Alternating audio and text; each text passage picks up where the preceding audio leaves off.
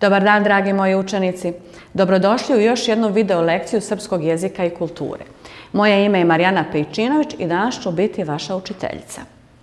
U današnjoj video lekciji imamo jako zanimljivu temu. Govorit ćemo o životu Nikole Tesle, odnosno o životu kad je on bio mali dječak. Znate li ko je Nikola Tesla? Nikola Tesla je srpski naučnik i izumitelj koji je izumio mnogo lijepih stvari koje mi danas koristimo u svakodnevnom životu.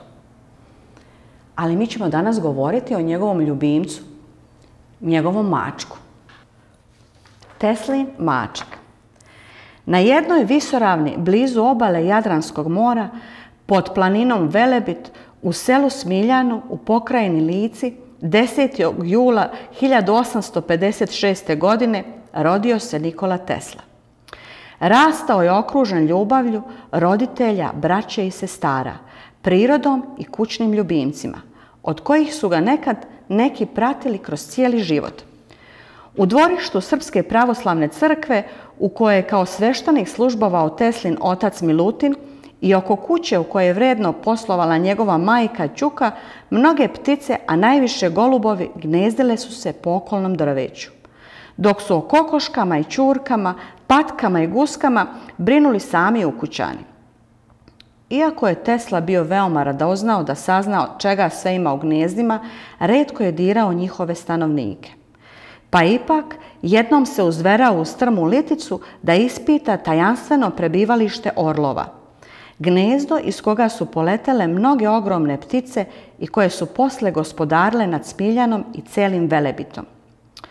Otuda je izvadio jednog malog orlića, poneo ga sa sobom i zaključao u onaj ambar sa čijeg krova je jednom skočio u želji da se i sam poput tih golubova i orlova oproba, vine u vazduh i poleti. Za tu priliku pozajmio je od oca i ne pitavši ga za dozvolu kišobran. Popeo se na krov i raširio ga. Duboko je disao. Obuzimalo ga je osjećanje lakoće kao da je u tim trenucima njegovo telo sasvim izgubilo težinu. Zažmurio je i nepromišljeno skočio dole, u ponor. Avantura se neslavno završila zato što žice na kišobranu nisu izdržale.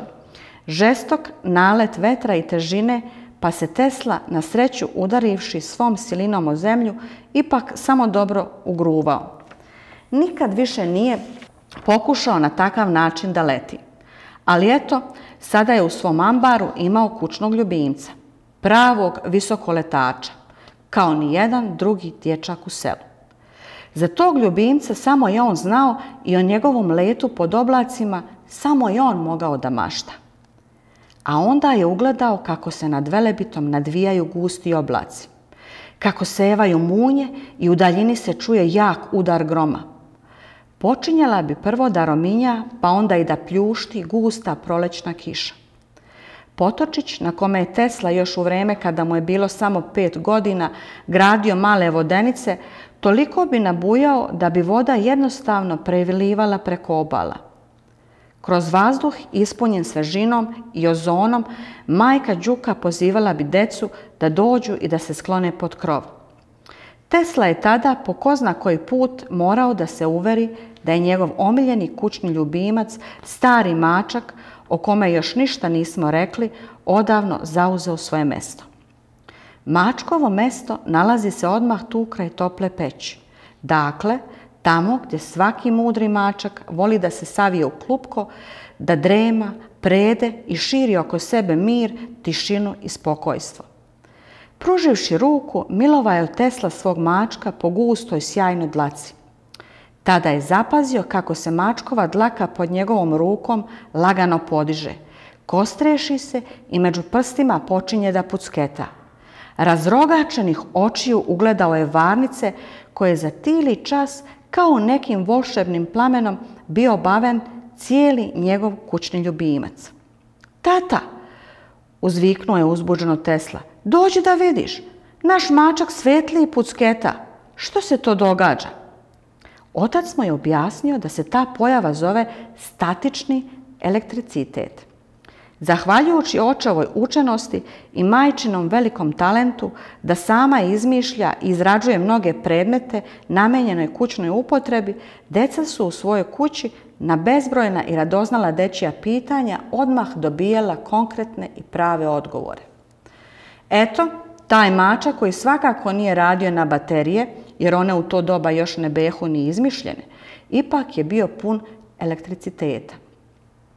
Ostavši sam Tesla je mogao da baci pogled kroz prozor i da ga ponovo uputi prema visovima i vrhovima Velebita, nad kojim su sevale munje i odakle su još uvijek dopirali potmuli udarci gromova.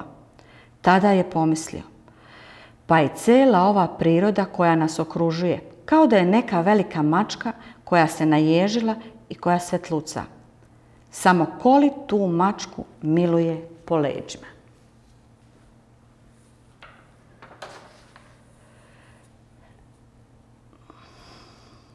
Kakav e, osjećaj u vama izaziva ovaj tekst? Ako želite, poslušajte ga još jednom. Nakon što obradimo ovu video lekciju, vi ćete čitanjem e, shvatiti koliko ste razumjeli, odnosno odgovorima na pitanja, vi ćete shvatiti koliko ste razumjeli pročitani tekst. Poslije samog teksta nalaze se pitanja i vi ćete dati odgovore na koje ćete odgovoriti i poslati svojoj učiteljici. Nakon toga slijedi crtež Teslinog mačka. Isti taj rad pošaljite svojoj učiteljici. A mi se vidimo u nekoj od narednih video lekcija. Doviđenja.